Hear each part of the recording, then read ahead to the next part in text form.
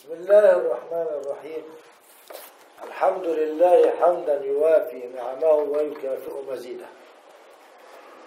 اللهم صل على سيدنا محمد الذي ملأت قلبه من جلال وعينه من جمال وأصبح فرحا مسرورا مؤيدا منصورا وعلى آله وصحبه كل لمحة ونفس عدد كل معلوم لك. اللهم لا سهل إلا ما جعلته سهلا. وأنت إذا شئت جعلت الحزن سهلا. اللهم افتح علينا فتوح العارفين بحكمتك. وانشر علينا رحمتك. وذكرنا ما نسينا يا ذا الجلال والإكرام. اللهم اجعلنا بشرعك عالمين. وبما علمنا عاملين. وفي عملنا مخلصين. اللهم وفق فضيلة الشيخ علي جمعة والقائمين على هذا المكان المبارك لما تحبه وترضاه وأعنهم على ما هم بصدره من نشر الدين وتعليم العلم ونشر التصوف واجعلهم هداة مهديين يا رب العالمين. ربنا اغفر لنا ذنوبنا وإسرافنا في أمرنا وثبت أقدامنا وانصرنا على القوم الكافرين. اللهم اغفر لنا ما قدمنا وما أخرنا وما أسررنا وما أعلنا وما أنت أعلم به منا. اللهم اغفر لآبائنا وأمهاتنا ولأصحاب الحقوق علينا ولكل من سألنا الدعاء ولكل من سألناه الدعاء. ربنا هب لنا من أزواجنا وذرياتنا قرة أعين. واجعلنا للمتقين إماما. وصلى الله وسلم وبارك على سيدنا محمد وعلى آله وصحبه أجمعين. ويقول المصنف رحمه الله فصل وكل مائع خرج من السبيلين نجس إلا المني. عقد هذا الباب ببيان النجاسة وانقسامها إلى مغلظة ومخففة ومتوسطة وكيفية إزالتها وغير ذلك. نتعرف على النجاسة. النجاسة لغة كل ما يستقبل. كل ما يستقبل. و- وكلمة الاصطلاح كلمة إيه؟ الاصطلاح الاصطلاح معناه في اللغة الاتفاق. الاصطلاح معناه في اللغة إيه؟ الاتفاق واصطلاحا اتفاق طائفة مخصوصة على أمر معهود بينهم متى أطلق صرف إليه. وليس من أصله في وضع اللغة. لأنه لو كان من أصله في وضع اللغة لدخل في إيه؟ في لغة. نعم. واضح يا رجال؟ أكبر. محمد. مفهوم؟ طيب. في الأحكام الشرعية نقول شرعا كما سبق في أول الكتاب. هذا الكتاب لغة الضم والجمع واصطلاحا كذا. والطهارة لغة النظافة وشرعا. ومرة يقولوا وعرفا متى يعني إيه متى أطلق أنصرف إليه؟ انتبهوا يا أولاد انت ضربنا المثل ده قبل ذلك. تدخل الورشة. والمعلم يقول يا يا مليا. أيوه يا معلم. تبقى جاري على المعلم. المعلم يقول للصبي هات الدراع هات اليد. هات إيه؟ اليد. اليد. يوم الولد يركض ويأتي بحتة حديدة في إيده.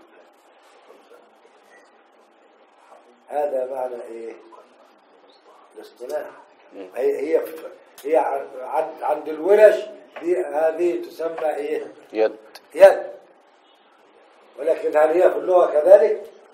هذا هو معنى الاصطلاح. واضح كده؟ ها؟ هات يا ولد الدراع يا ولد. اجري هات الدراع. هات الذراع. يوم الولد يركض ويأتي بقطعة حديدة أخرى هذا هو إيه؟ الدراسة طيب. يقرأ الطالب على الشيء. يقول وجاء رجل مد يا ولد. المد معناه في اللغة إيه ها؟ مين يعرف المد في اللغة في التجويد يا رجل ما المد معناه في اللغة إيه؟ الزيادة. زيادة معناه في اللغة إيه؟ ومنه قوله تعالى ويمددكم بأموال وبنين. يمدكم ربكم خمسة آلاف. تمام؟ لكن معناه في الاصطلاح عند التجويد علماء التجويد يقولون إطالة الصوت. يفهمون غجر يفهمون كلمة غجر؟ محمد؟ غجر محترمون. آه، معناه في, في الاصطلاح عند علماء التجويد خلي بالك إطالة الصوت عند بحرف المد عند ملاقاة همز أو سكون. ساعة الولد ما بيقرأ على الشيخ. وجاء رجل شيخ المد يا ولد. وجاء رجل. فاهم إيه؟ المعنى الاصطلاحي ولا اللغوي؟ اصطلاح الاصطلاحي بيقرأ يقول إيه؟ وما تفعلوا من خير اظهر يا ولد. الاظهار معناه في اللغة إيه؟ البيان. واصطلاحا.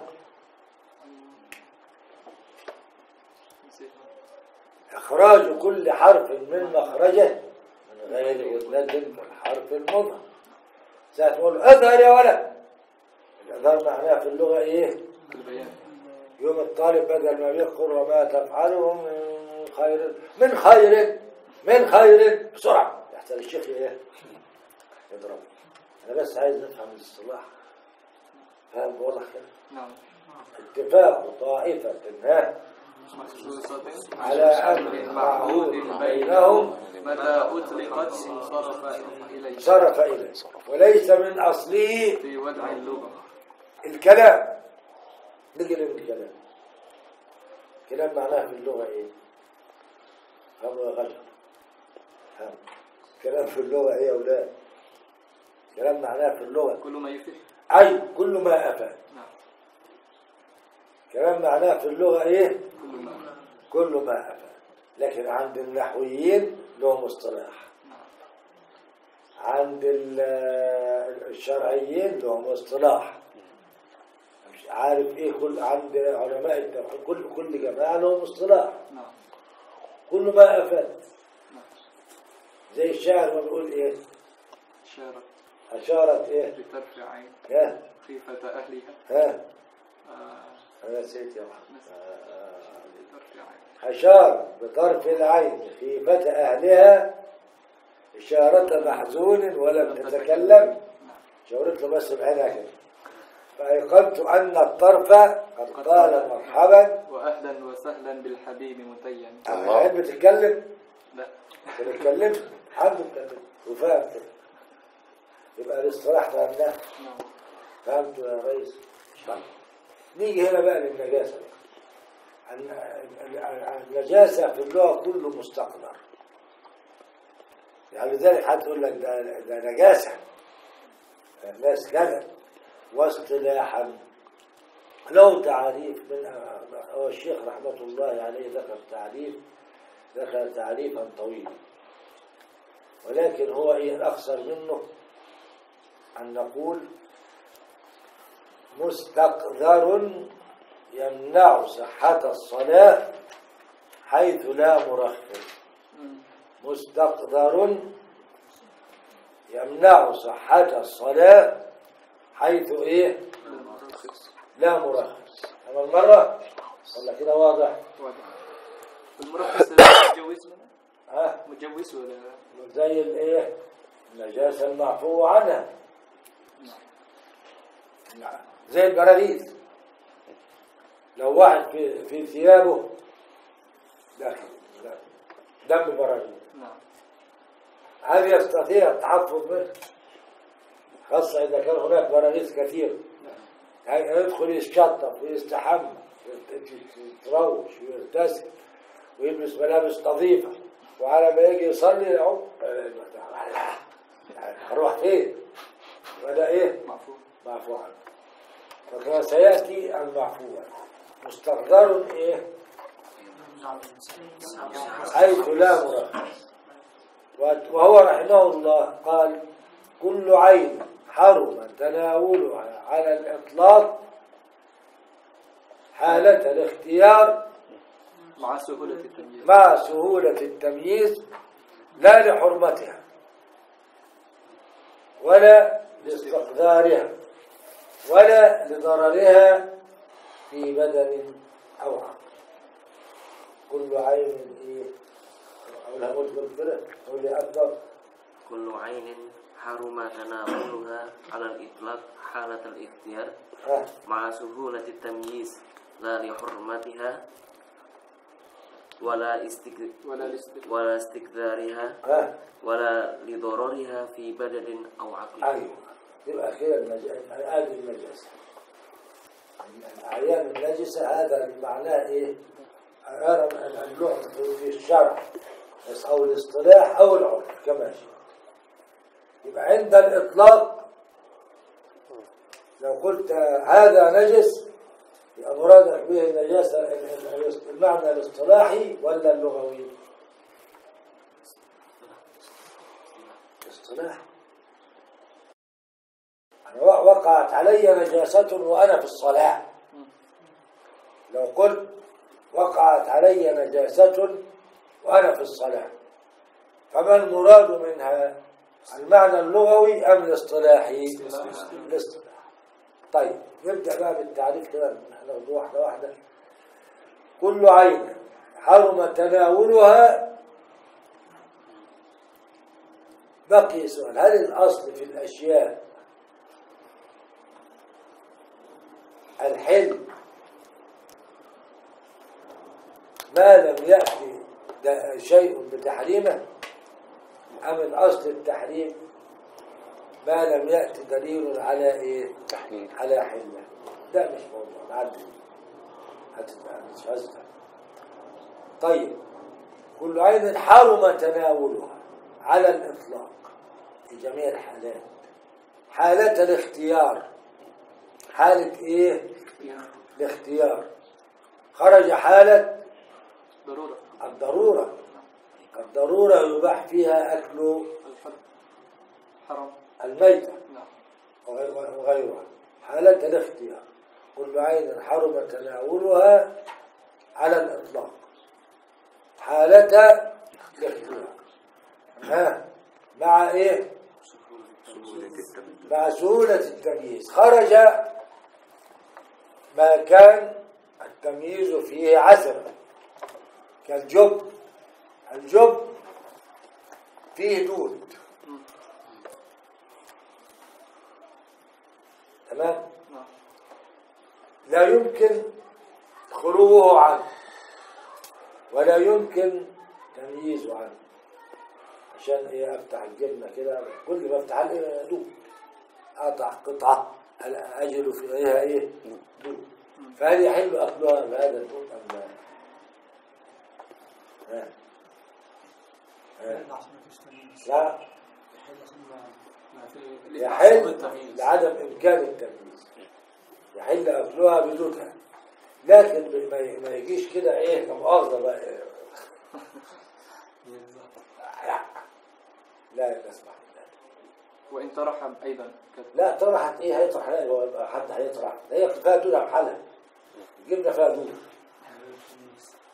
لو قلنا لا لا تحرم مش هنلاقي جبنة إذا لا لا يدخل في حكم كل آه، كل كثير مع كثرته كل ماء مع كثرته لا لا لا لا لا الموضوع ده.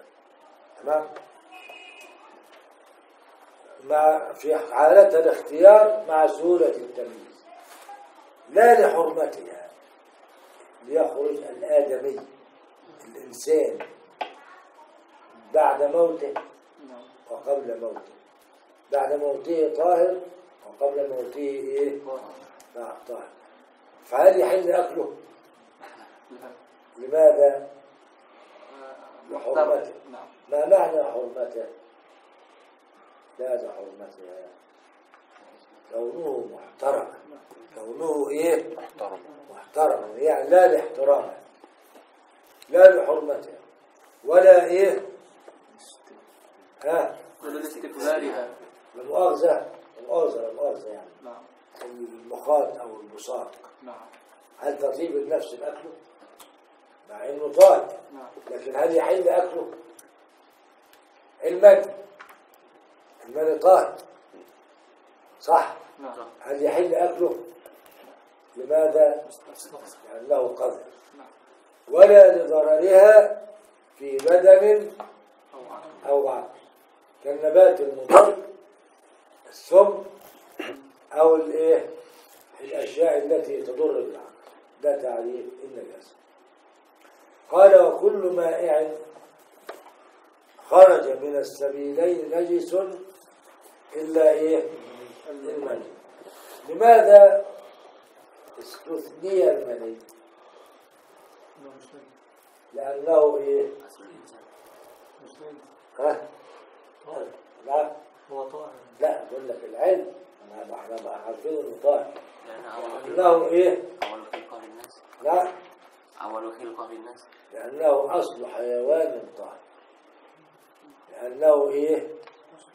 أصل حيوان طاهر فالمني طاهر إلا مني ها الكلب والخنزير. وما تولد منهما أو من أحدهما ما حيوان طاهر. المني طاهر. نعم. من جميع الحيوانات. نعم. بخلاف اللبن. نعم. اللبن طاهر ويشرب من مأكول اللحم. أما من غير مأكول اللحم فهو نجس ولا يجوز تناوله. لبن الحمار. هلا يحل تناوله يحل شربه. حمار يا ولد. لا لا أنا عايز ده ولا أيوه لا ما ينفعش؟ أنا قلتها على فكرة خدتوش بالكم.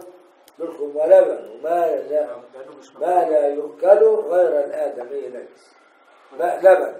الحيوان المأكول طاهر. نعم. كالمعز والضأن والبقر والإبل لبنها إيه؟ طاهر. أما ما لا يؤكل نعم. ما لا يمكن أن يشرب كالحمارة لا. لا آه، لا يشرب لا يشرب لبن. لبنها إيه؟ لا يشرب. نجس. إلا الآدمي. المرأة تؤكل. لا لكن لبنها إيه طاهر. تمام؟ المال طاهر من الحيوان الطاهر إلا من الكلب والخنزير وكل مائع خرج من السبيلين نجس. المائع خرج بالمائع المتصلب. الذي لا تحيله المعنى. كما لو ابتلع الرجل شيئا قرش مثلا أو بتاع زي أو.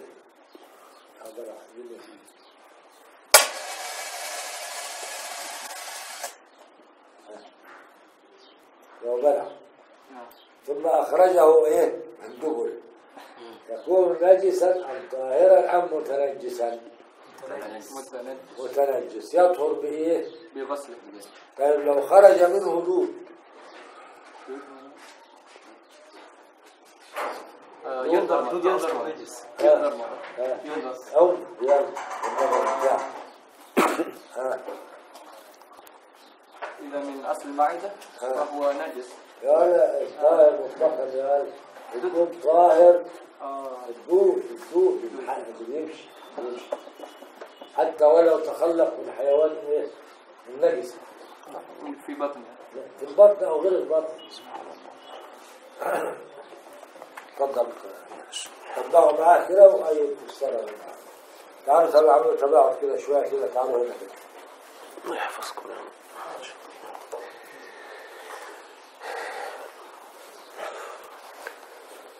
فصل في بي- بيان النجاسات وإزالتها. وهذا الفصل مذكور في بعض النسخ قبيل كتاب الصلاة.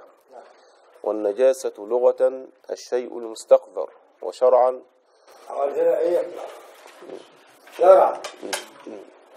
الأحكام الشرعية يقولون إيه؟ شرع. لكن في غيرها يقولون اصطلاحا أو عرفا. اصطلاحا أو عرفا وشرعا كل عين حرم تناولها على الإطلاق. حالة الاختيار مع سهولة التمييز لا لحرمتها ولا لاستثارها كم-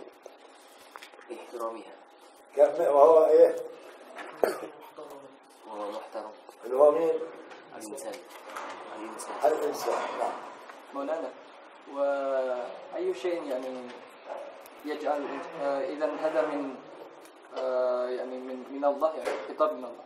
أيضا ولقد كرم قال تعالى ولقد كرمنا بني آدم. نعم. فلا يجوز أكل الإنسان. ها؟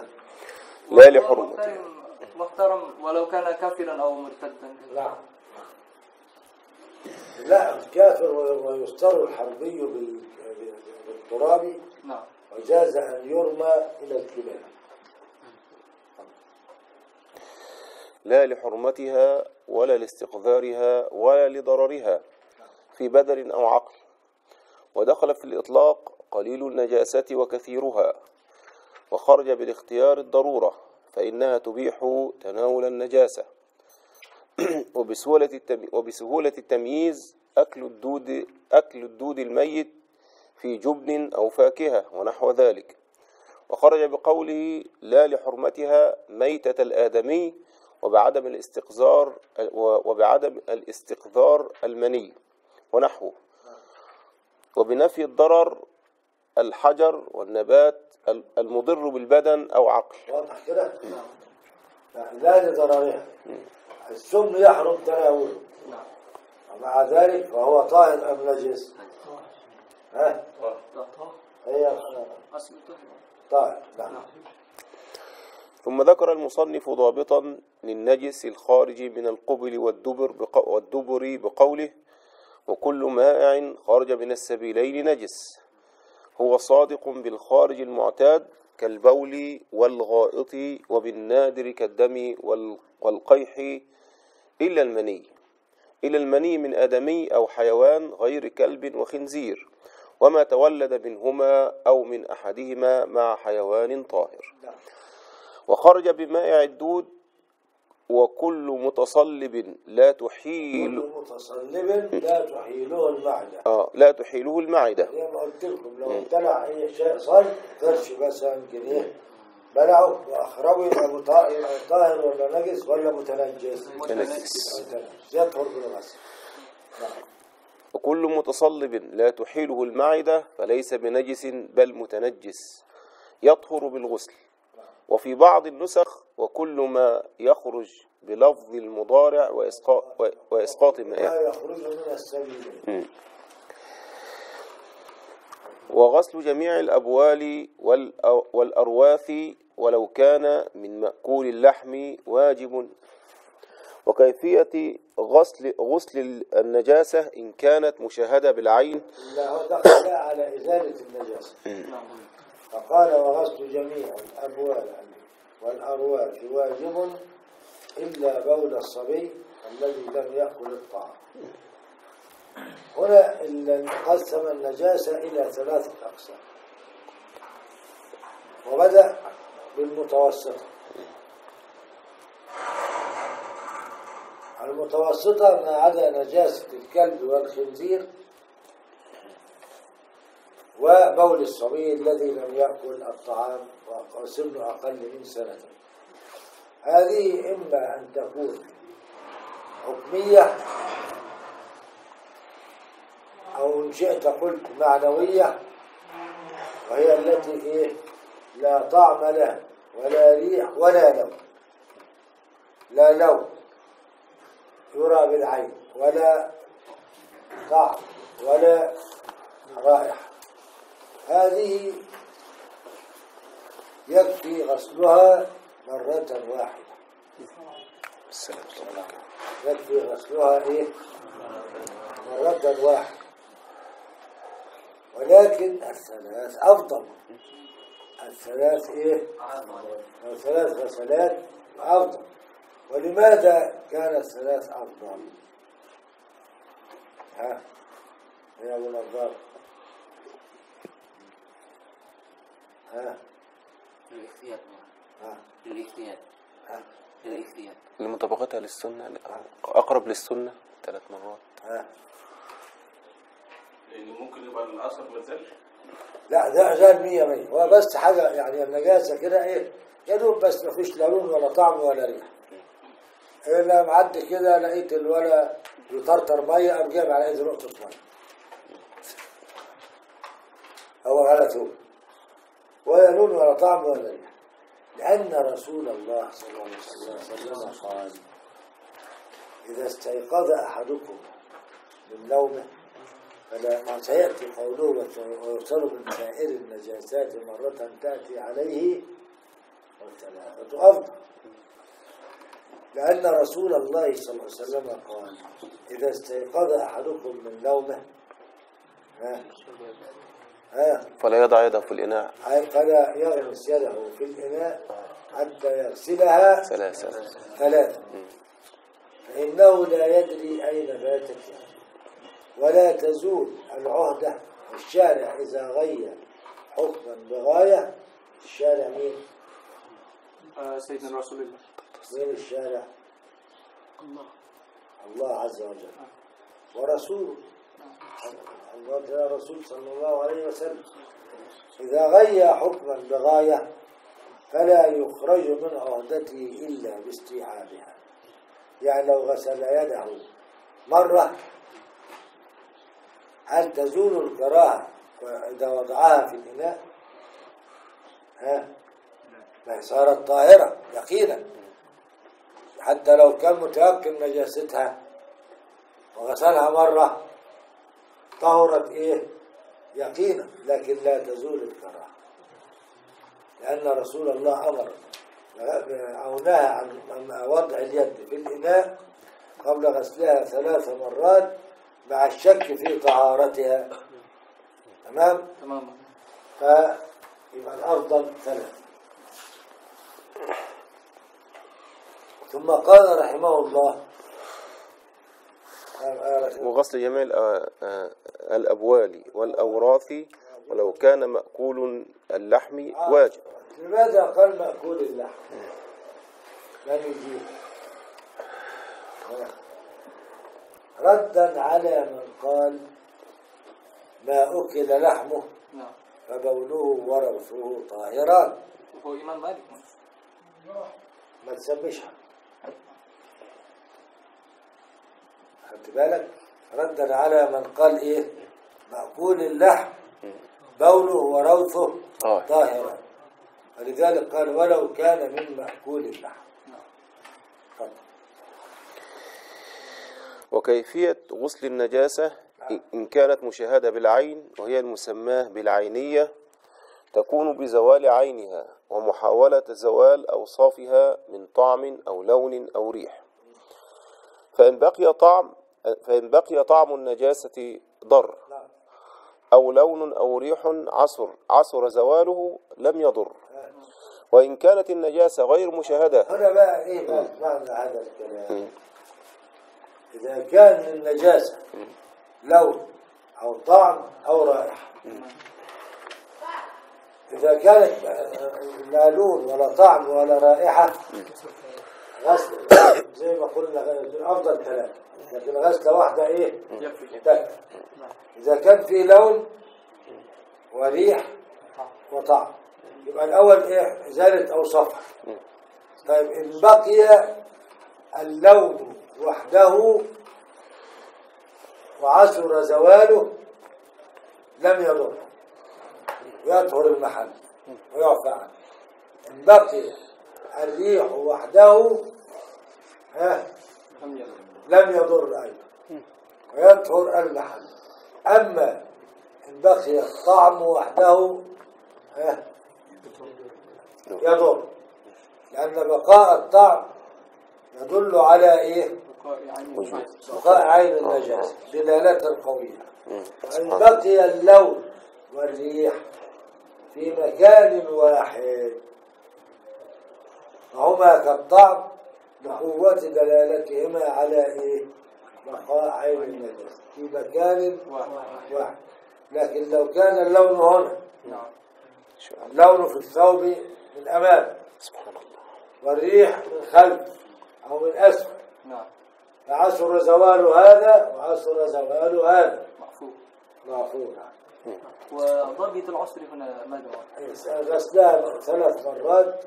مع الحد والدعك كده يبقى بعد كده مع السلامة وإن كانت النجاسة غير مشاهدة وهي المسماة بالحكمية فيكفي جري الماء على المتنجس بها ولو مرة واحدة. ولو مرة واحدة. ثم استثنى المصنف من الأبوال قوله إلا بول الصبي الذي لم يأكل اللحم الطعام. أي لم يت... نعم. الذي لم يأكل الطعام على جهة التغذي ولم يبلغ سنتين. يبقى صب نعم. ذكر ولد. خرج به الخنثى و والأنثى. لم يأكل الطعام. خرج به ما له. لأن في الغالب الأولاد بيفطموهم على عشرين شهر. مش كده ولا؟ وبياكل خلاص. أو بياكل في ست ساعات بعد ست شهور. بياكل بقى ساعات بعد ست شهور بياكل. ساعة فإذا أكل على جهة إيه؟ تغذي. أما لو كان على جهة العلاج كان كان يعطى مثلا معلقة دواء نعم. أو صفوف فلا يعتبر هذا إيه؟ طعاما طعام. وألا يمر حولين. تمام؟ يبقى إذا أن يكون دون الحولين أقل من سنتين. وألا يأكل غير اللبن على سبيل التغذي. وأن يكون ذكرا.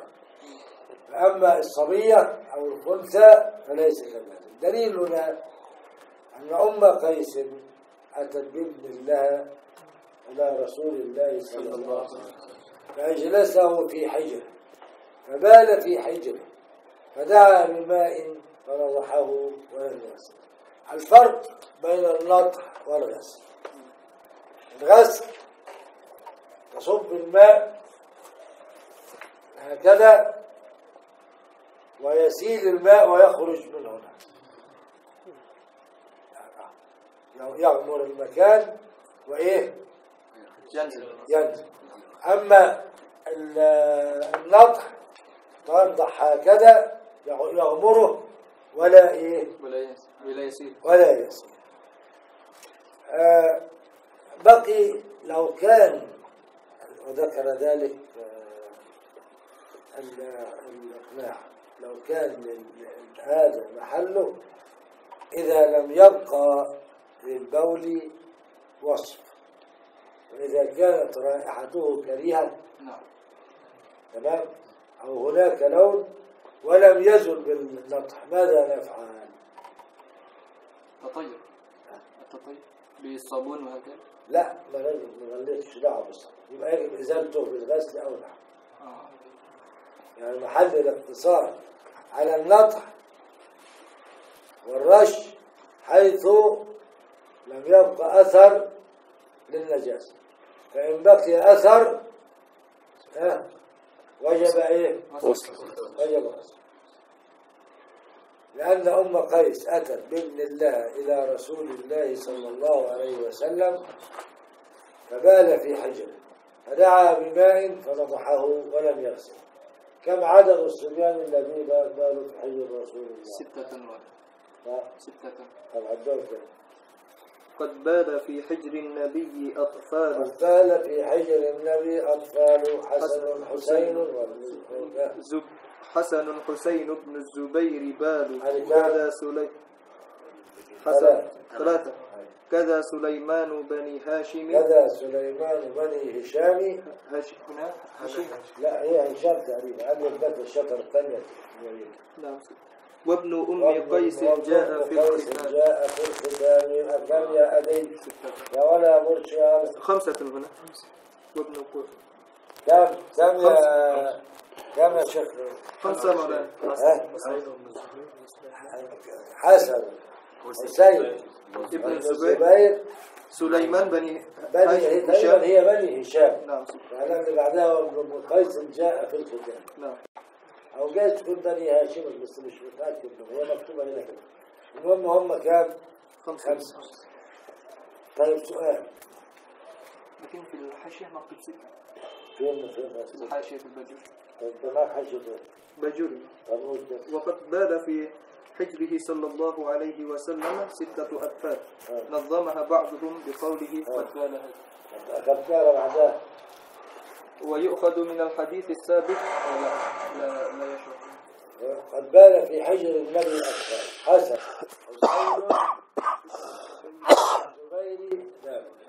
كذا إيه سليمان بني هشام. ولا بني هاشم زي ما انت عارف. هذه خمس أربعة. ها؟ وابن أم قيس. وابن أم قيس جاء في الختام. ما أدري بقى ولا يأكد طيب هؤلاء الصبية هل تثبت لهم صحبة؟ لا. تثبت لهم الصحبة لا. تثبت لهم الصحبة. صحيح يا شيخ ثروة نعم. تثبت لهم الصحبة. الصبية اللي قالوا في حجر النبي. دول.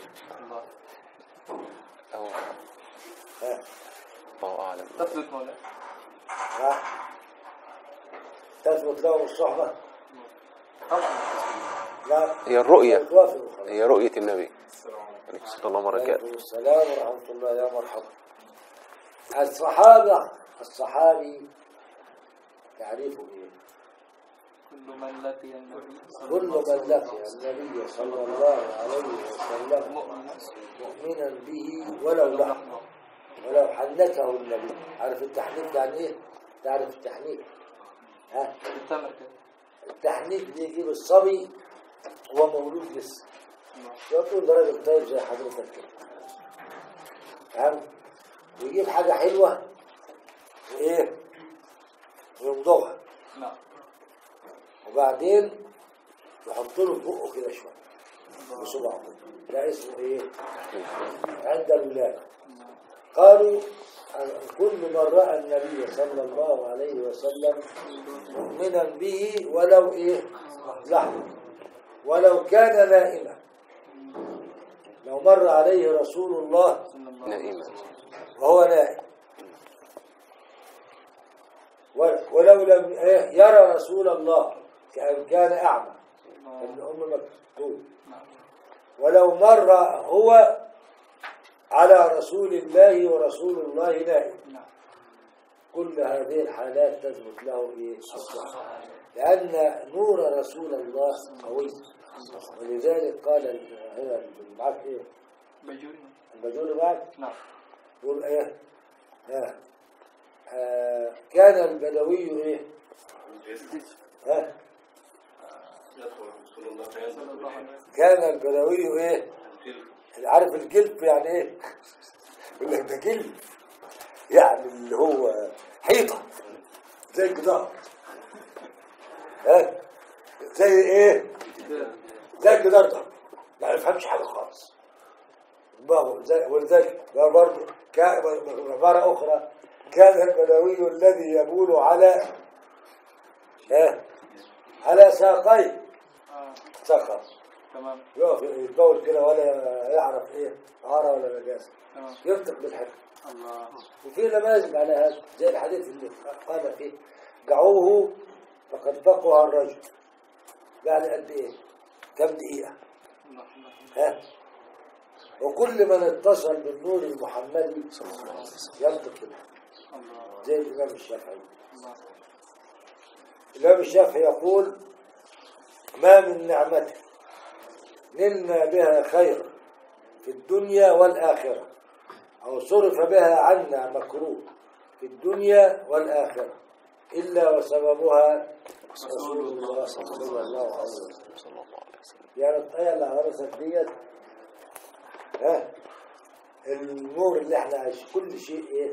سبب النبي صلى الله عليه وسلم. وفي الجنة كذلك.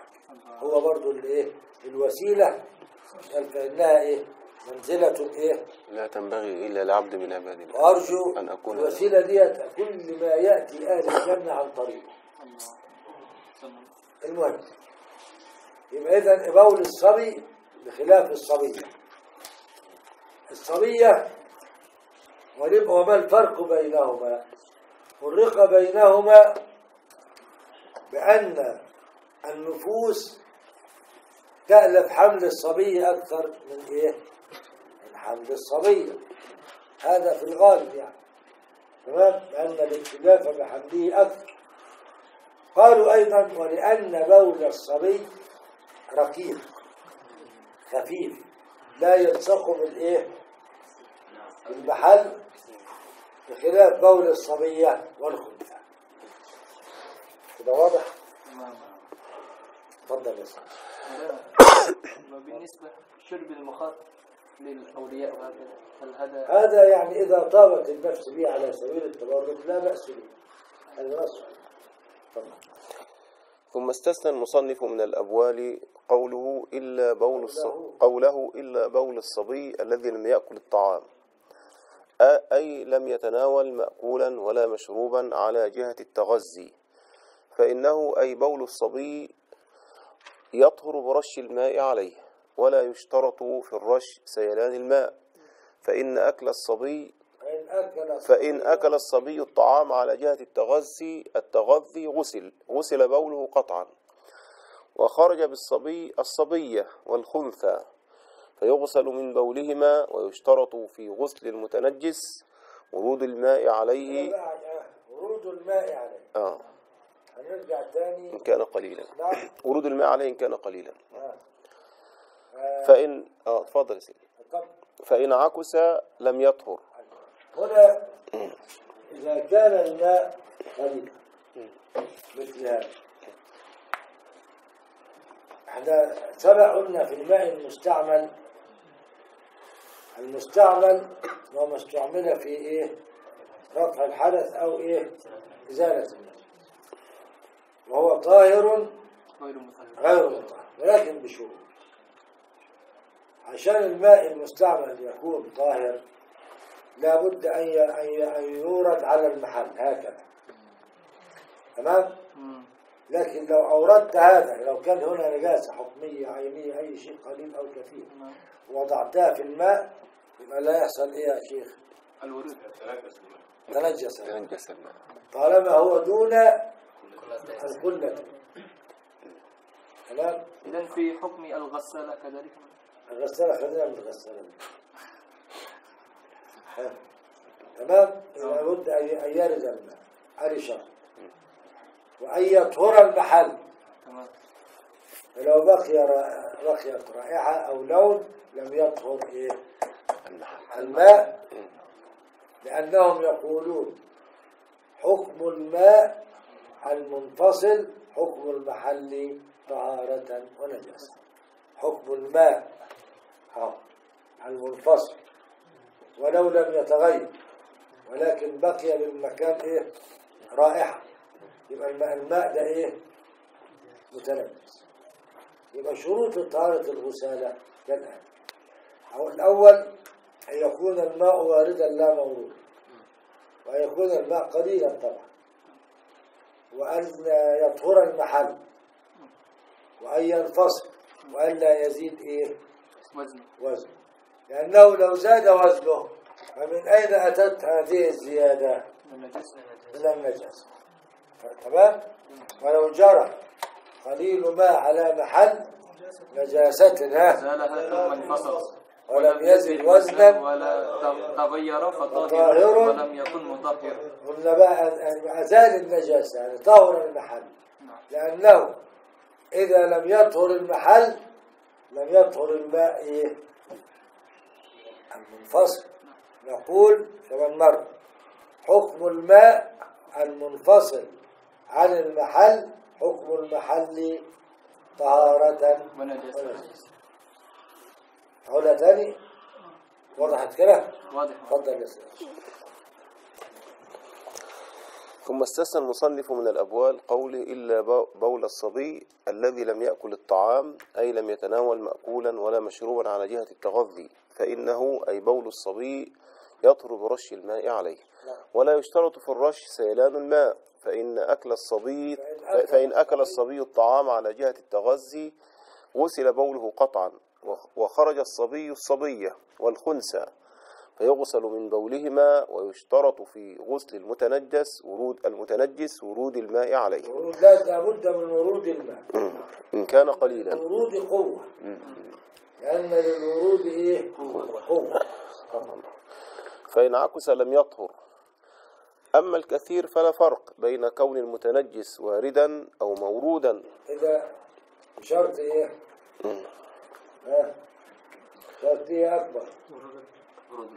لا خلاص خلاص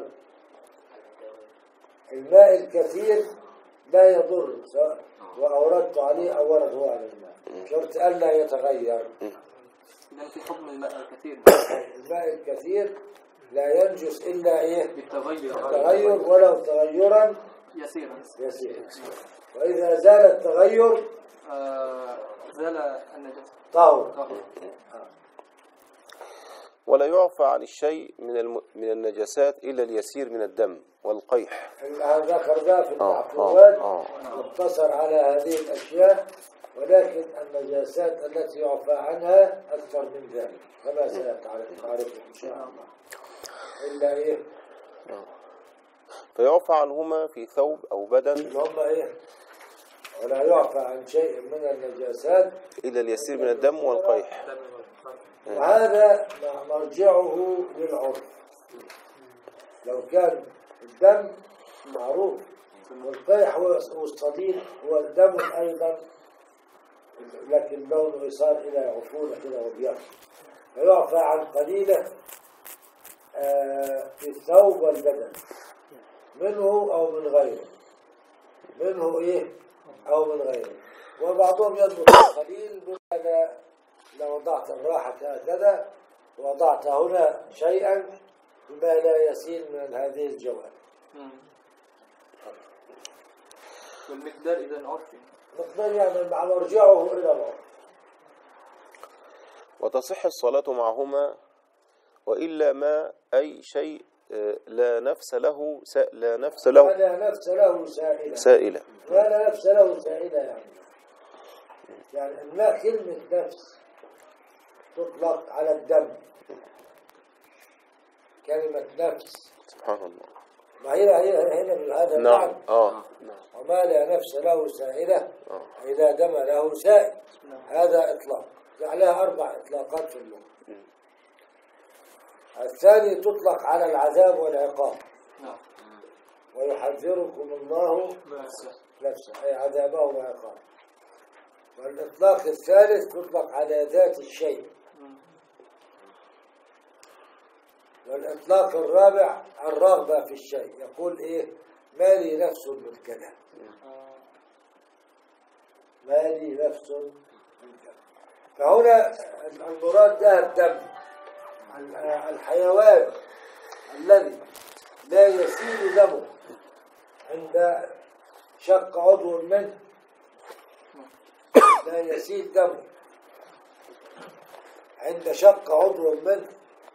إذا وقع في الإناء ومات فيه فإنه لا ينجس دليل ذلك قول رسول الله صلى الله عليه وسلم إذا وقع الإناء إذا وقع الذباب في إناء أحدكم ها فليغمسه فيه ثم ينزع فإن في أحد جناحيه إيه؟ داء وفي الآخر زاد في رواية وإنه يتقي بجناحيه الذي فيه الداء وهو الأيسر يعني هو بينزل على إيه؟ على الجناح اللي فيه إيه؟ اللي فيه الداء طيب. بشرط ألا يكثر بحيث يغير المائع بحيث إيه؟ يغير ألا يغير المائع وألا يطرحه أحد وألا إيه؟ يطرحه أحد. لو جه واحد كده بمزاجه بمزاجه كده وجاب ذبابة ميتة أو نحلة ميتة النحل كذلك وألقاها في الماء نعم. يبقى كده إيه؟ ينجس واضح؟ واضح.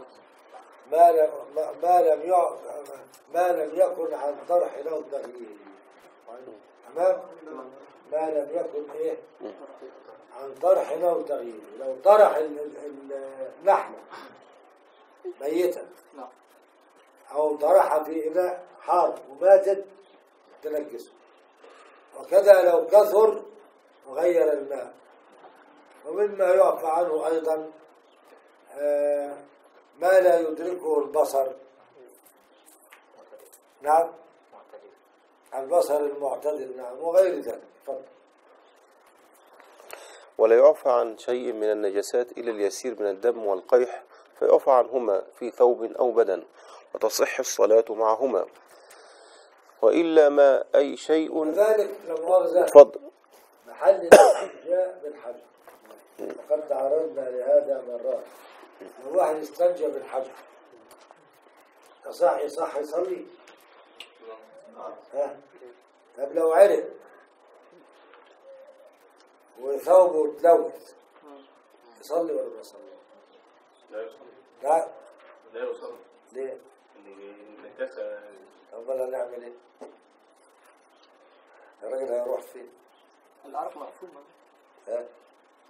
لو عرق وسال العرق كده ولوث سوق من ورا كده هتمنعه من الصلاة ولا تخليه يصلي؟ لا لا أكيد على ذي الرأي جازم يعني ها؟ هو ضروري شيء ضروري افرض عرق هنعمل فيه إيه؟ طب هو يصلي صح لكن لنعلم أن محل الاستجمار بالحجر معفو عنه بالنسبة لصاحبه فقط في الصلاة. تمام مرة واحد استنجى بالحجر وقام يصلي. ويصلي إمامه ومأموم وكل شيء. لكن لو جلس في ماء قليل. ها؟ نجاسة لا. نجاسة نجس. لو جلس إيه؟ نجس. ولو حمله مصلم ها؟ ها؟ يعني لو واحد بيصلي كده وجه واحد إيه مسترجم الحجر قام راكب على كتفه وقام راكب عليه وسائل ها؟ صبي كده. أصابي أو كبير. ها؟ بطل الصلاة. بطلت صلاة ولو جلس في ماء قليل نجس. نجس. طيب لو انت الطائر بتاع عصفورة فين العصفور. صغير هذا. نعم. حلة مية كده وقع- وقع فيها عصفور. طبعا يقينا أنها نجسة المنفذ ولا إيه؟ نعم. ها؟ هل تنجس الماء؟ ها؟ إيه يا شيخ؟ لا تنجس. لا لا تنجس. لا عايز رأي قاضي. اتفق اتفق لا تنجس. لماذا؟ نعم لعسر الاحتراز. مش عسر زوالها يبقى تشيلها ترميها. لكن لعسر الاحتراز عنها. بخلاف المحترم اللي هيجي يقوم جاي كده في طشت الميه يقوم قاعد. يا سلام يا جدع ويقوم منكس لها الميه يعمل فيه إيه؟ اسمه ضربه بقى. ها؟ المرة حاطة مية كده عشان ت- تعمل فيها حاجة قام جاي جوزها قعدها فيها ومستنجم الحمل لا يمكن ما نجسها ولا ما نجسهاش. نجسها تديله قلمان وتقوم يلا اتفضل.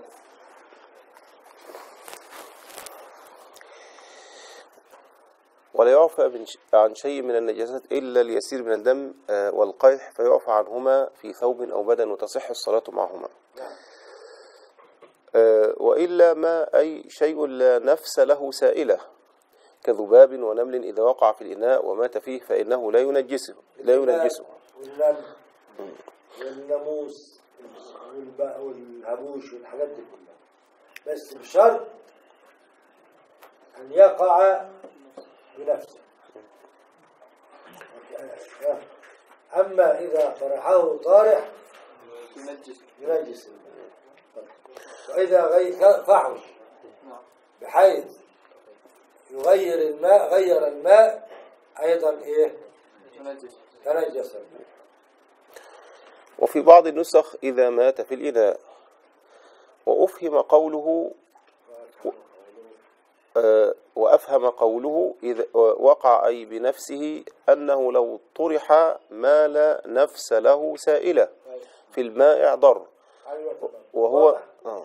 لو طرح طرحه طرح واحد جاب ذبابة كده المزاد مزاجه كده قام حاططها. وهو ما جزم به الرافعي في الشرح الصغير. نعم. ولم يتعرض لهذه المسألة في الكبير. وإذا كثرت ميتة ميتة ما لا نفس له سائلة وغيرت ما وقعت فيه نجسته. وإذا نشأت هذه الميتة من المائع كدود خل, خل وفاكهة لم تنجسه قطعا آه. ال- الجب كما سبق في تعريف النجاسة نعم هي نشأت وتخلقت في الجب والجب فيها لو قطعت تلاقي فيها ماتت فيه هل تنكسه؟ ليه؟ لعسر الاحتراز والمشقة إيه؟ في ذلك تجلب آه. أه والمشقة تجلب إيه؟ تيسير وكذا لو في فاكهة.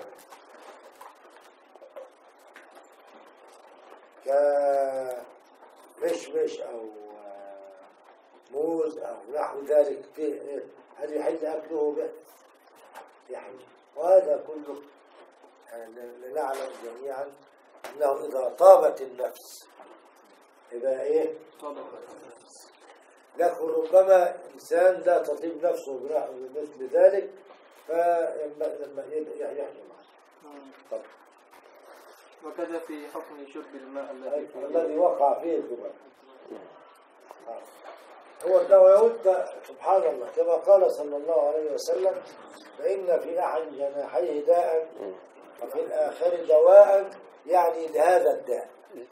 يعني لو وقعت الذبابة بشيء لو انت غمستها بإيدك كده يبقى الداء اللي فيها جاله إيه؟ دواء مصل دواء أو مصل عدلت الحكاية. يعني لم يكن شيء. تفضل يا سيدي. ويستثنى مع ما ذكر هنا ما ذكر هنا مسائل مذكورة في المبسوطات سبق بعضها في كتاب الطهارة. والحيوان كله طاهر إلا الكلب والخنزير وما تولد منهما أو من أحدهما مع حيوان طاهر وعبارته تصدق بطهارة الدود المتولد من النجاسة وهو كذلك والميتة كلها نجسة يعني إيه بقى؟ الدود المتولد من النجاسة. هل هو طاهر أم لا؟ نعم نعم لماذا؟ لأنه من أحد بس هو في عندنا حاجة اسمها استحالة في حاجة اسمها إيه؟ التحول من شيء إلى شيء في لا مؤاخذة جيفة ملقاة على الطريق ودودت وطلع منها دود يبقى الدود ده طاهر ولا نجس؟ نجس نعم نجس نجس الجيل نعم نجس في نجاسة الجيل بس هو بقى حيوان. هي الجيفة نجسة بس هو بقى ميت لا ده صاحي. بيجري.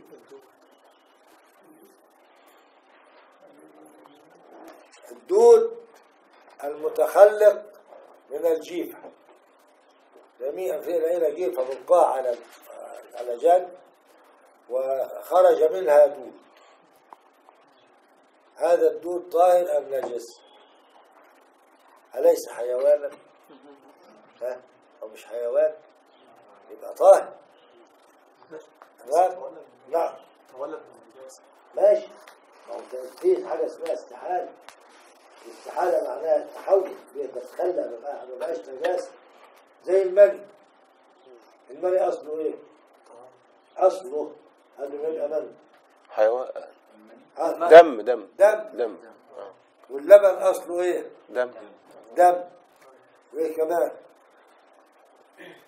فرس ودم يخرج من بين فرق وال والفأرة بتاع الغزال. عارف الفأرة بتاع الغزال؟ مين اللي يعرفها؟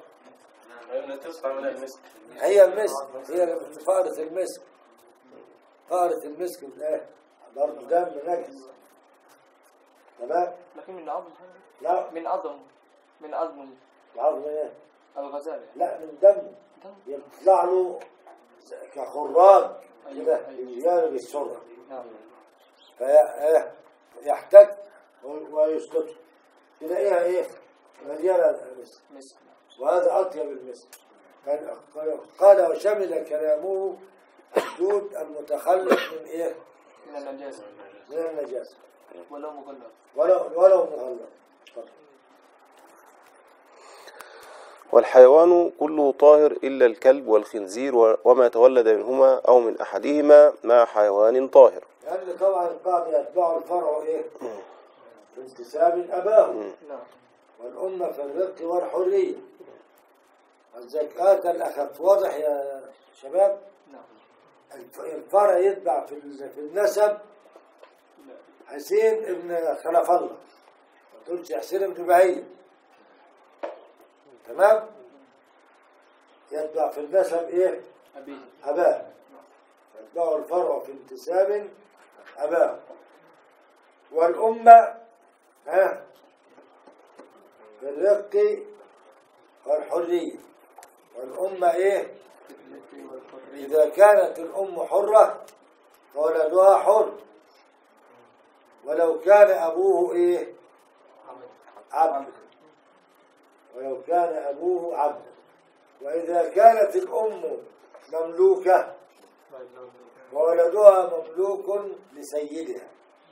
ولو كان أبوه حرا ولذلك الإسلام ضيق نكاح الأمة. ولا يجيزوه إلا بشروط.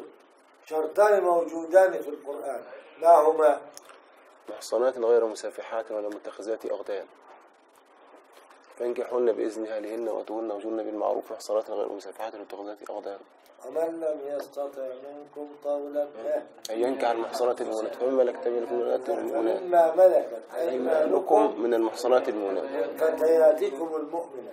يبقى الأول ده ثلاث شروط حتى. الشرط الأول ألا يجد مهر حر يعجز عن إيه؟ عن الحر تمام؟ الشرط الثاني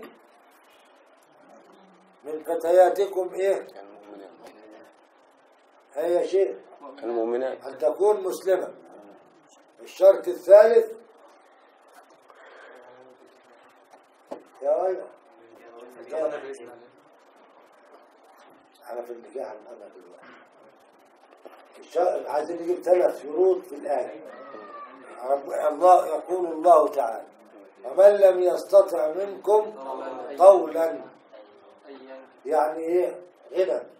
يعني ليس لديه قدرة على نكاح حرة. حرة عايزة ألف جنيه. ال- الأمة يدفع لسيدها 100 جنيه وياخدها. يقول لها ها هل هيمشي الحال. هذه واحد. الشرط الثاني أن تكون إيه؟ مسلمة فمما ملكت أيمانكم فتياتكم المؤمنات مين يجيب الشرط الثالث؟ لا لا لا. ها؟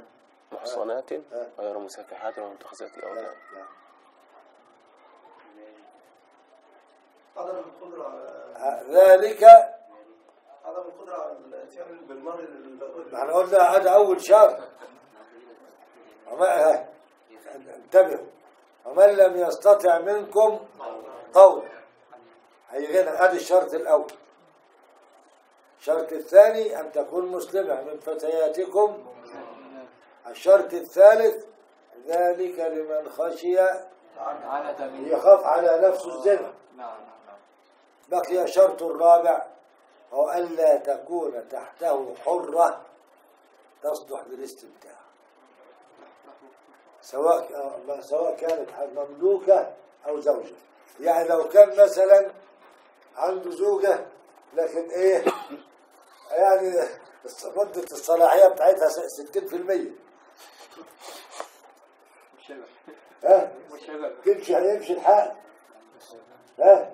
يبقى ما يحل. لماذا ضيق الحدود لئلا تسترق الأولاد؟ نعم. إذا يتبع الفرع إيه؟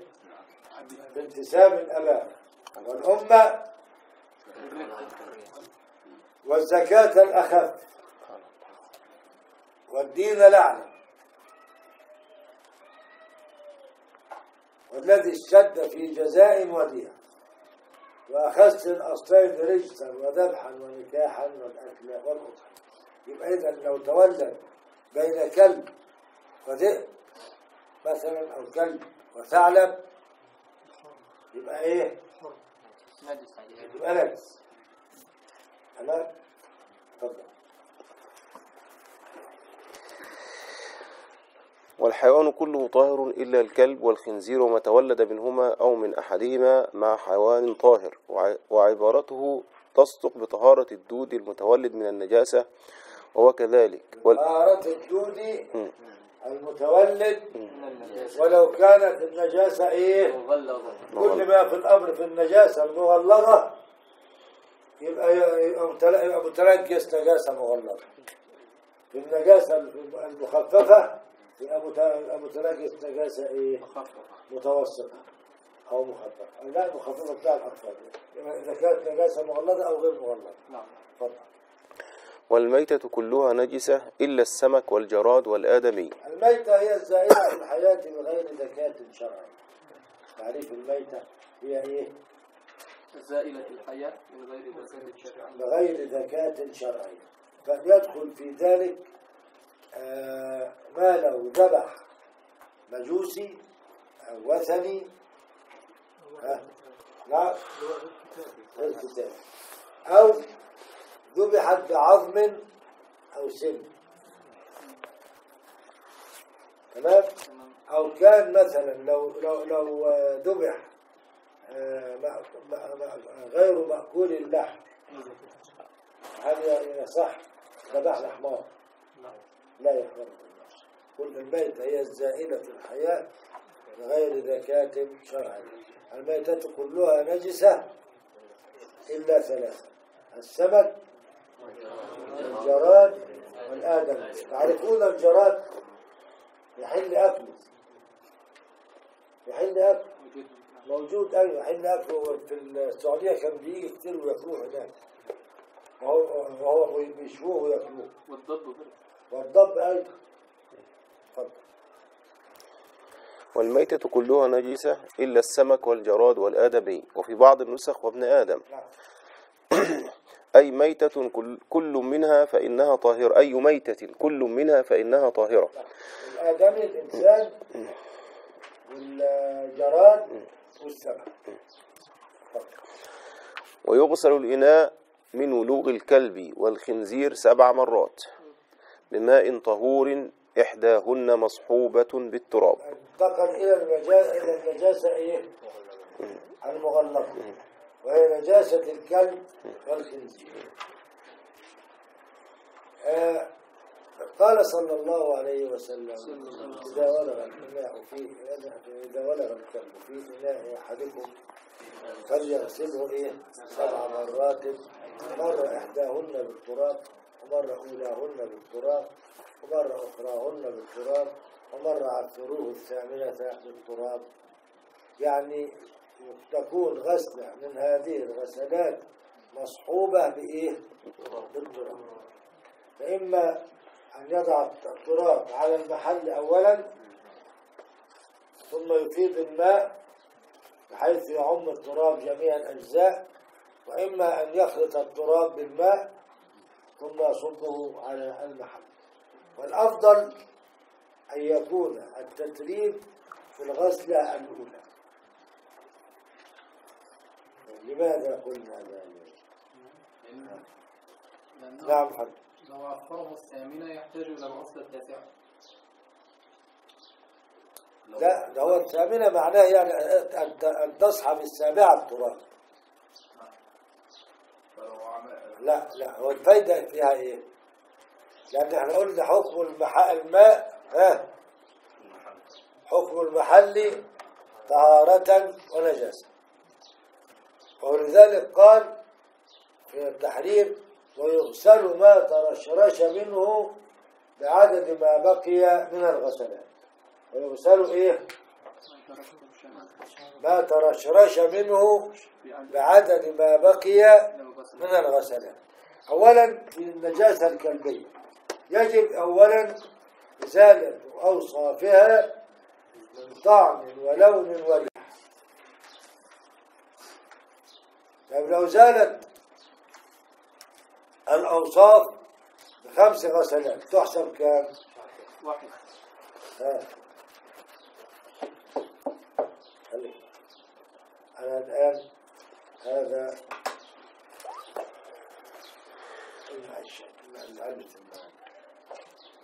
عليها هنا نجاسة كلبية ولكن فيه هنبدأها من الأول واحدة واحدة فيه لون ورائحة.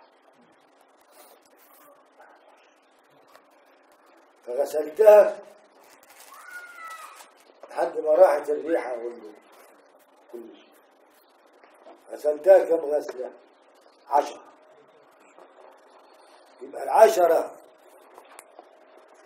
تحسب كلها إيه؟ واحد واحد تمام؟ كمان مرة؟ ها يعني لو كانت النجاسة الكلبية لها لون أو رائحة يجب الأول إزالة أوصافها فلو زالت الأوصاف بست غسلات حسبت كلها إيه؟ واحد. إذا بعد النقاء. بعد النقاء تحسب إيه؟ الغسلة التي ال- لو كانت حكمية مش إشكال عرفنا الحكمية. لكن لو كان عيني لو رائحة طعم وزالت بخمس غسلات تحسب هذه الغسلات كلها إيه؟ واحد. واحد. يبقى عايزين بعد كده كام؟ ستة. طيب. ويغسل ما ترشرش منه بعدد ما بقي من الغسل. أنا بغسل كده بعيد بعيد خالص خالص. وبعدين واحد معدي قام زعق ايدي قام أوه مش هشرب أنا حافظ حافظ خالص. لكن قام ضايق ايدي قام كده وهو معدي. ترشر شباب طيب حكم الثوب إيه البطل يقول ده يدوق الكلام الذي يقول ده حكم ما تبقى من من باقي الغسلات أيوه كم بقي غ... كم غسلة بقي؟ لو غسلوا ثلاثة يبقى يتفضل أربعة. يبقى ده يغسل كام؟ أربع مرات. أربع مرات. تمام؟ نقولها تاني؟ تمام ها؟ تمام نعم. تمام نقول حكم الماء حكم المحل.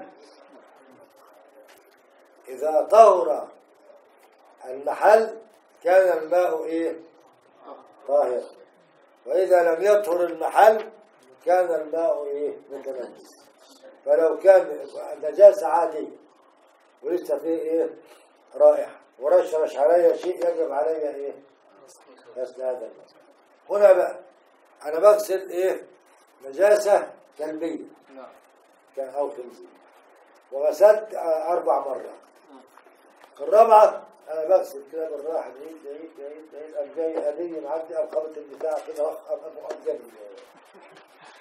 يبقى فاضل كم غسلة؟ أربعة. نعم أربعة. أربعة يبقى أغسل ثوبي كم مرة؟ أربعة. ها؟ أنا غسلت أربعة. هذه الرابعة. هذه الرابعة. الرابعة. عم جاي واحد معدي أم هوب ترتش عليه أربعة. كم بقي؟ سلة الثوب كام؟ ويفضل بقى التتريب في الأولى لأني لو لم أترب قبل ذلك احتجت إلى تتريب ليس بناء على الدليل احتجت على تتريب ثوبي. إذا تربت قبل ذلك بها ونعمت. خلاص مع السلامة. لكن إذا لم أترب يجب علي إيه؟ تتريب الثوب. طيب. إذا هذا بالنسبة للنجاسة المغلظة وضحت كده؟ إذا لم تزل النجاسة الكلبية إلا بست غسلات أو سبعة أو خمسة حسبت كلها إيه يا رجال غسلة واحدة. تفضل يا سيدي. ويغسل الإناء من ولوغ الكلب والخنزير سبع مرات بماء طهور إحداهن مصحوبة بالتراب. الطهور يعم المحل المتنجس فإن كان المتنجس بما ذكر في ماء بما ذكر بما ذكر في ماء جار كدر كفى مرور سبع جرايات على مرور سبع جرايات عليه بلا تعفير. لحظة. إلا الجريات إذا كان النهر في- إذا كان فيه إيه؟ كدورة فيه إيه؟ كدورة الماء معكر بالطين. هل يكفي ذلك عن التتريب؟ ها؟ نعم يكفي. مش أنت عايزين تراب؟ تراب مال الأرض أهو في الماء. يكفي. كدر الماء. الماء كدر من الطين الذي فيه من التراب يكفي. يبقى اذا أنا الآن معي الثوب القلم هذا. خلي بال حضرتك الماء أهو. واحد اثنين خمسة ستة سبعة. وبقى طاهر المكان. ولا أحتاج إلى إيه؟ التتريب تتريب زي في الممر كده. لا ممر إيه؟ آه، في لا ده موضوع ثاني موضوع ثاني خليك معي. إذا كان الماء كدرا بما في مقره من طين وتراب. يبقى يكفي إيه ويغني عن إيه؟ التتريب. وإذا كان كثيرا كالترع والأنهار والحاجات دي الأشياء هذه يكفي هكذا. أي واحد اثنين ثلاثة أربعة خمسة ستة سبعة طهر المكان. إذا كان الماء إيه؟ راكدا. طب وإذا كان فيه جريات الموج. عارفين الموج؟ كفى مرور سبع جريات عليه. أنا بس همسك القلم كده والموج إيه؟ يعدي واحد كده اثنين لحد سبعة. وضحت اتفضل يا شيخ. يعني إذا كان الماء راكد وهو كثير وفيه تراب في الأرض أرض الماء بحيث كدرت الماء يكفي تكفي هذه القدورة وتغني عن التتريب. يبقى هكذا. واحد اثنين ثلاثة أربعة خمسة ستة سبعة. وإذا كان فيه إيه؟ الموج. الموج. أنا همسك بس كده كده بس. والموج واحد اثنين ثلاثة أربعة خمسة ستة سبعة. سبع مرور سبع جريات. هذا كمان مرة يا شيخ ثروة مولانا زي في الماء الفيضان كده؟ فيضان إحنا عملنا مال فيضان يا ولد. لا لا لا لا ده موضوع تاني. لا لا لا ويغسل الإناء من ولوغ الكلب والخنزير سبع مرات بماء طهور إحداهن مصحوبة بالتراب. الطهور يعم المحل المتنجس فإن كان المتنجس بما ذكر في ماء جار كدر كفى كدر. كدر. كفى مرور سبع جريات عليه سبع بلا- جارات بلا موجات. الموج والقدورة تكفي عن التعفير والتتريب. اتفضل واضح كده؟ تمام يعني أنا همسك القلم بس كده. أهو أهو. والموج إيه؟ بيعدي. واحد اثنين ثلاثة أربعة خمسة ستة سبعة. طب لو فيش ولو ما فيش موج. واحد. أو واحد. اثنين ثلاثة أربعة خمسة ستة سبعة يلا. وإذا لم تزل عين آه النجاسة خلي بالكم بقى من الحتة دي اللي بدأنا بيها في, في أول الكلام. ها. وإذا لم تزل عين عين النجاسة الكلبية إلا بست مثلا حسبت كلها غسلة واحدة. نعم. و- وكمان مرة. مفهوم النقطة ديت؟ إذا لم تزل عين النجاسة الكلبية إلا بست مثلا حسبت كلها غسلة واحدة. غسلة واحدة. إذا هنا يحسب على العين ليس الوصف. أي عين وأي وصف. أنا يلزمني الأول الثوب يكون نظيف. تمام. وبعدين عين لا لون ولا طعم ولا ريحة. لو كان في لون ولا رائحة لا لا يحسب. تفضل والأرض الترابية لا يجب التراب فيها على الأصح الأرض الترابية لو بال الكلب مثلا في أرض ترابية وأردنا تطهيرها هل يجب تتريبها؟ هي تراب في الأصح خلي بالك بس مع ملاحظة أن مثل هذا الشيء وكذلك بول الصبي يعني لو بال الصبي على ثوب الآن كان الماء ما زال موجود. ينفع رش عليه ولا عصوره الأول؟ ها؟ البول ما زال موجود على الثوب. يا إما أتركه ما يجف يا إما أعصره بقوة بحيث لا يبقى شيء. وبعدين أرش الماء. كذلك الأرض إذا بال عليها كلب أو بال رجل وأردنا أن نطهرها إما أن نصبر عليها إلى إيه؟ أن يجف وإما أن نزيل هذا الشيء من عليها لأنك مش هتطهر البول. واضح؟ يعني لو في هنا بول.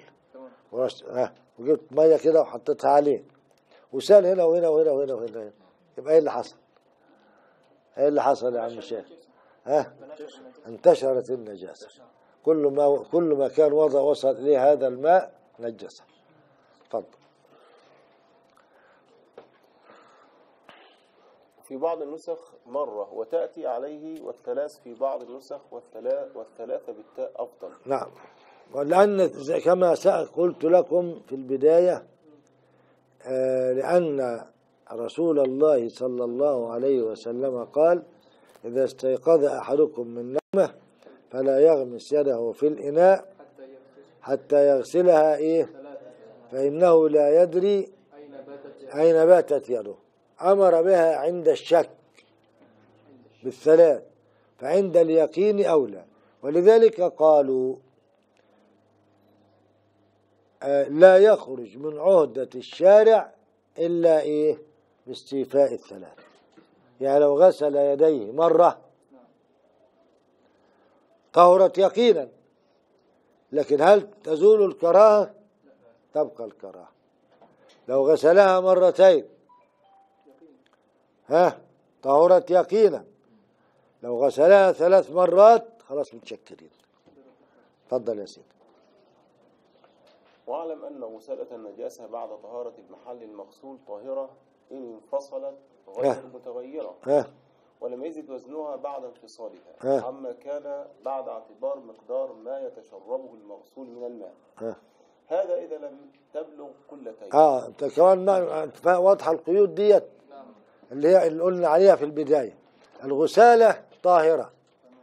بشرط أن تنفصل. وأن يطهر المحل.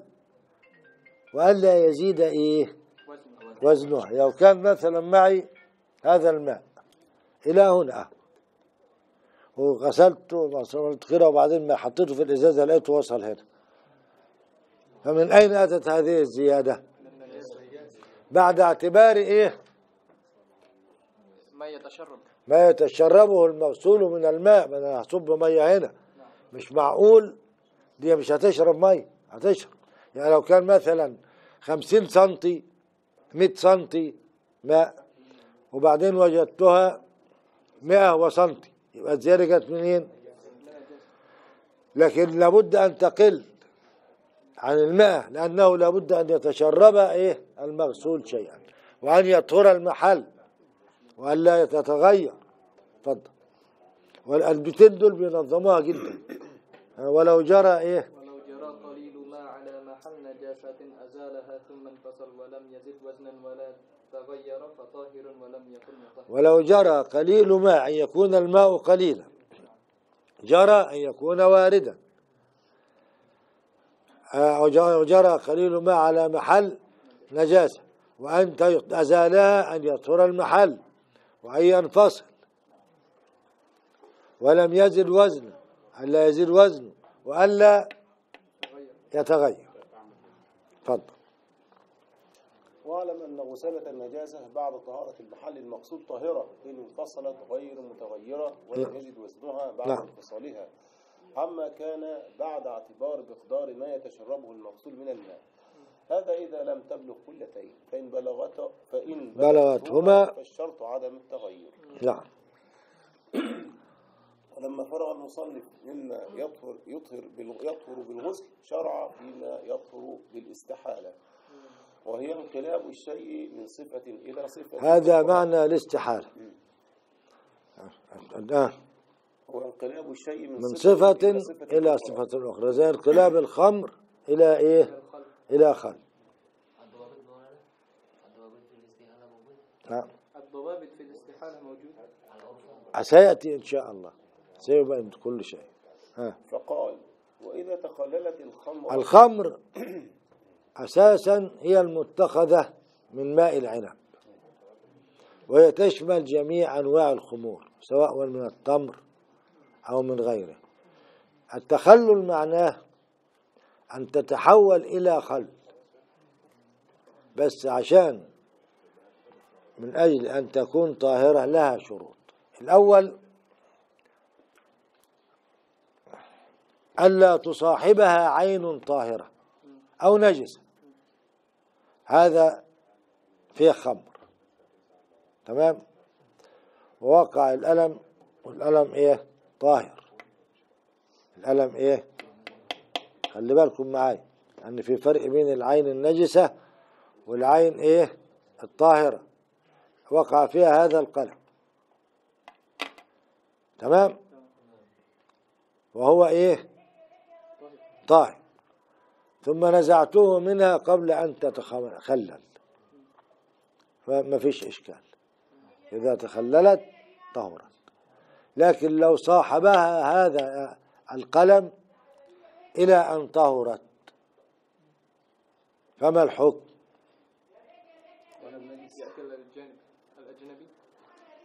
ها؟ قلم نجس. نعم قلم صار نجس القلم نجس القلم تنجس بالخمرة. تنجس. وبعد أن طهرت الخمرة نجسها القلم. يبقى إذا نقول بلا مصاحبة عين مطلقا. سواء كانت هذه العين طاهرة أم نجسة. أنا هذا الزجاجة هيت وقع فيها الألم وهو طاهر. وصاحبها إلى أن إيه؟ تخللت نجسها. طيب. عين نجسة وصاحبتها إلى أن تخللت نجستها. كده واضح؟ طيب. عين طاهرة ونزعت فورا. ثم تحولت إلى إلى خل. فما الحكم؟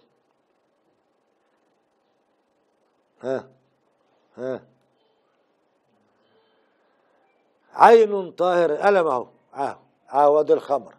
وضعته كده وشلته على طول. لا يضر. لا يضر مفيش إشكال. طيب عين نجسة ونزعت فورا. ها؟ طب ما هي نجسة.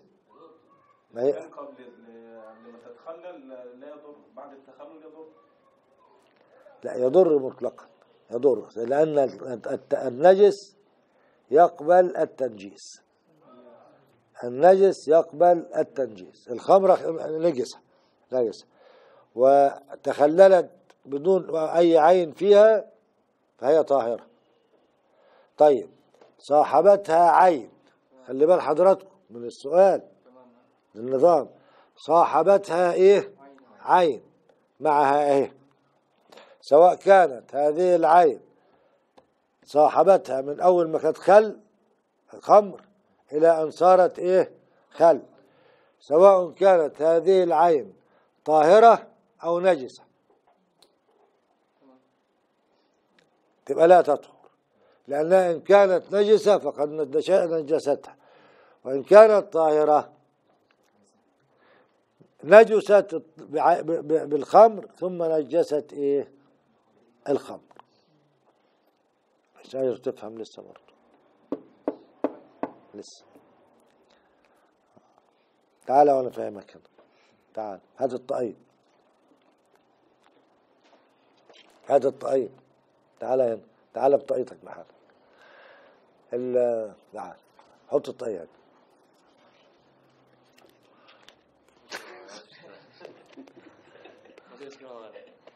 خليك معي ادي ده إناء اهوت ومليان خمر. تمام؟ ووضع وقع فيه القلم والقلم طاهر وظل فيه القلم إلى أن صار إيه؟ خلا يبقى القلم تنجس بإيه؟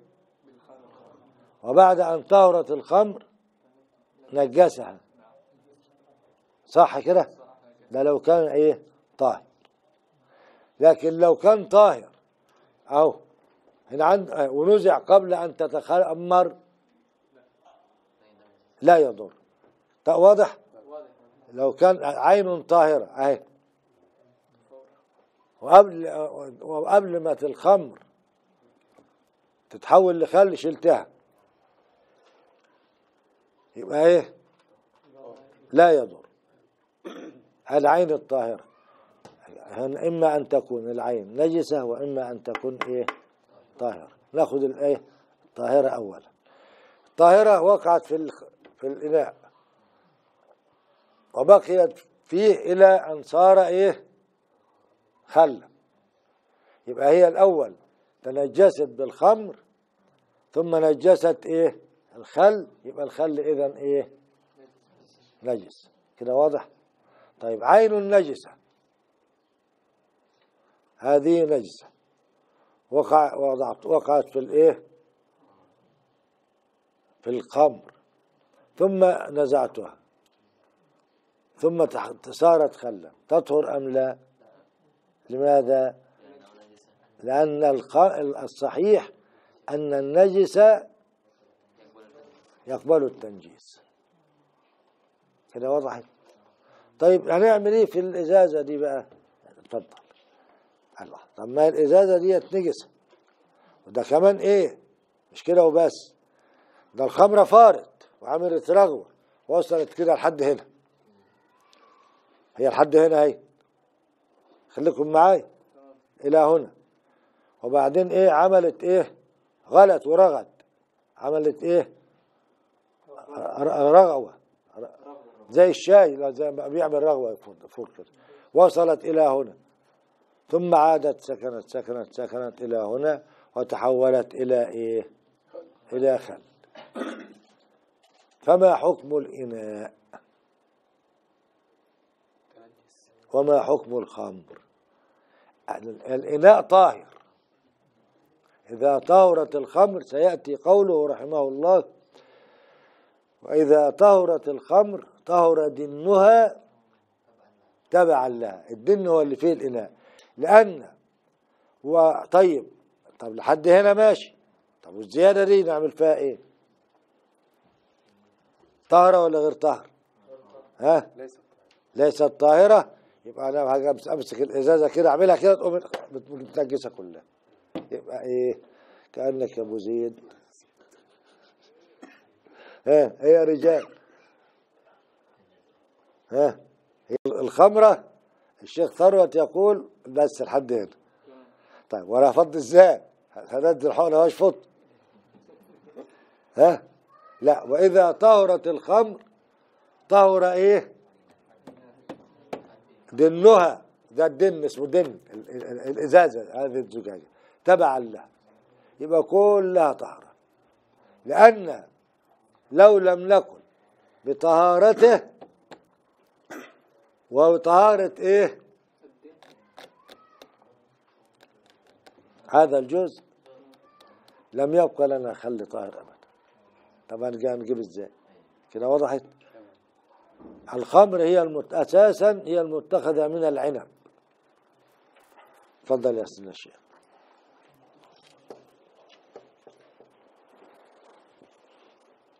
ولما فرغ فرغ المصنف مما يطهر بالغسل شرع فيما يطهر بالاستحالة وهي انقلاب الشيء من صفة إلى صفة. انقلاع استحالة الاستحالة انقلاب الشيء من صفة يدخل في ذلك انقلاب الدم لبنا ومنيا. انقلاب الخمر خلا. تفضل. وإذا تقللت الخمرة وهي المتخذة من ماء العنب محترمة كانت الخمر أم لا؟ المحترمة هي إيه؟ نعم. من يجيب نعم. إزاي؟ في خمر محترمة وخمر مش محترمة؟ نعم. ها بقول إيه؟ وهنا كاتب في. لا كاتب هنا في ال... بقول إيه؟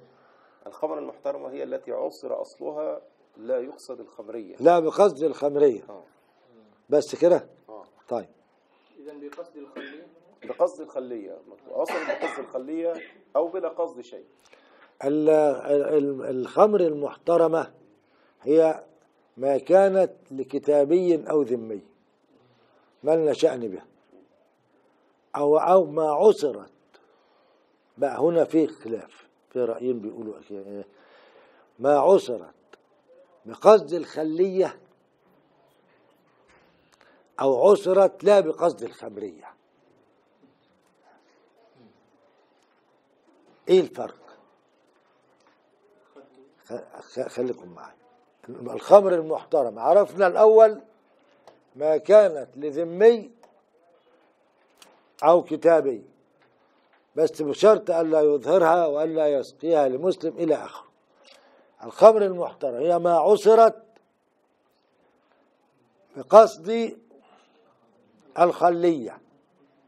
يعني آه هو عصرها وسابها أما تبقى خمرة ها؟ وهتبقى خل. وقاصد ذلك. ادي إيه؟ رأي الثاني هي ما عصرت لا آه. لا بقصد الشيء لا بقصد إيه؟ الخمرية. يعني إيه؟ يعني أنا إيه؟ عملت عصير عنب. حطوه يا أولاد في الثلاجة شوية ولا كده والعيال نسوه. يومين ثلاثة أربعة ببص لقيته بقى إيه؟ خمر. طب سيبوه بقى ما يبقى خل. كده وضحت؟ والخمر بجميع أنواعها سواء كانت محترمة أم غير محترمة تطهر إذا تحولت إيه؟ إلى خل. تفضل يا سيدي.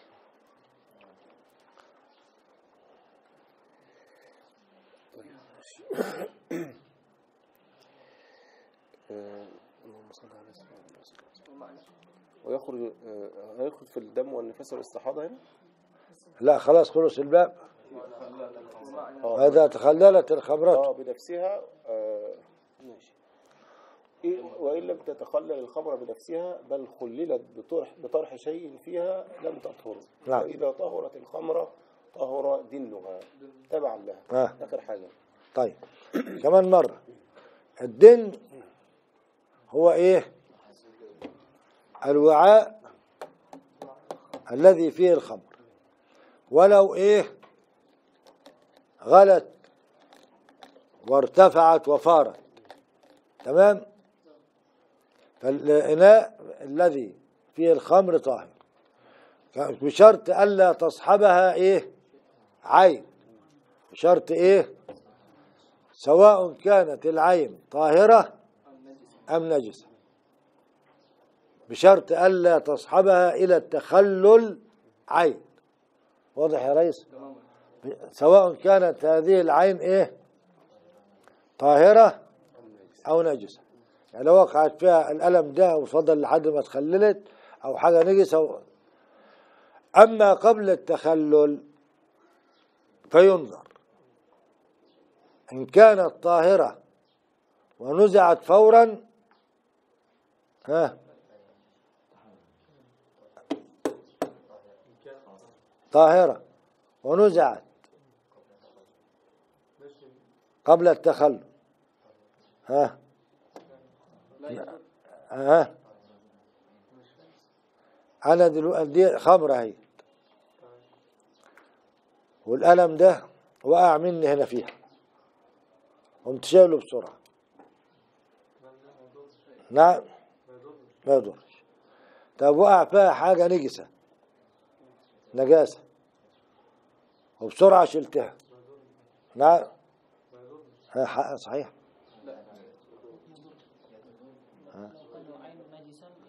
يضر لو كانت العين نجسة يضر لماذا؟ لأن النجس يقبل إيه؟ التنجيس. يبقى الاستحالة معناها إيه؟ تحول الشيء من صفة إلى أخرى. فتحول الدم إلى مني وتحول الدم إلى لبن وتحول الخمر استحالة إلى خل وغير ذلك. كده وضح الباب. في شيء إشكال ولا في أي حاجة؟ مولانا بالنسبة آه، لرأي مذهبنا. في مأكول اللحم. كيف حكم آه، شرب بول الجمل في هذا وقتنا في عصرنا هذا؟ وفي عصرنا وغير عصرنا رئيسنا رأيه هو اللي يمشي. لا كله نجس. ال- الأبوال والأرواث كلها نجسة ولو من مأكول اللحم كما قال الشيخ. إحنا خلينا على مذهبنا ها، هذا وبالله التوفيق وصلى الله وسلم وبارك على سيدنا محمد وعلى آله وصحبه أجمعين. بارك الله فيكم وعليكم وطبتم وطاب ممشاكم. وتبوأتم من الجنة منزلا وجعلكم الله هداة مهتدين آمين. وسلام على المرسلين والحمد لله رب العالمين.